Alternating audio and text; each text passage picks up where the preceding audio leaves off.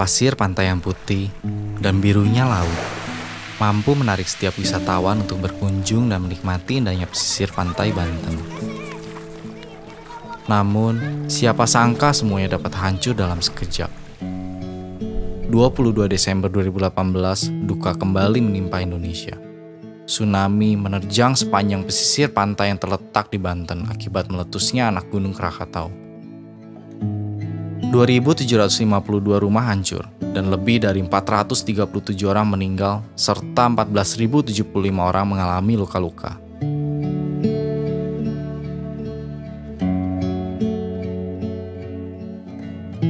...27 Desember 2018, Tangan Pengharapan membuka donasi untuk bencana tsunami di Banten.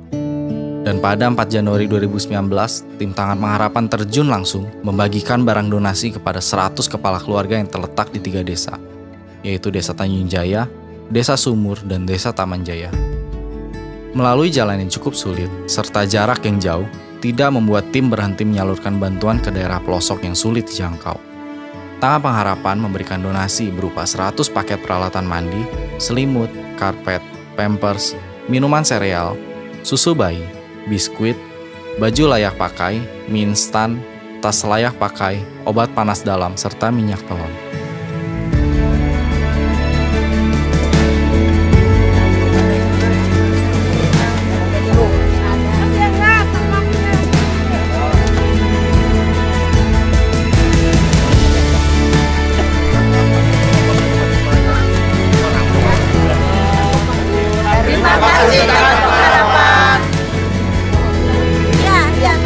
Jadi berkah ya Pak. Terima kasih Yayasan Tangan Pengharapan.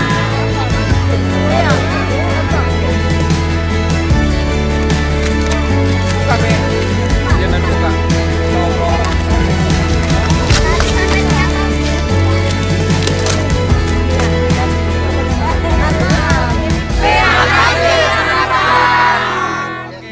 Terima kasih pada para donatur yang telah memberikan donasi bagi saudara-saudara kita yang ada di Banten. Uluran tangan kita membantu meringankan beban mereka dan mengembalikan senyuman di wajah mereka. Semoga masyarakat di Banten dapat segera pulih dan bangkit kembali. Helping people live a better life.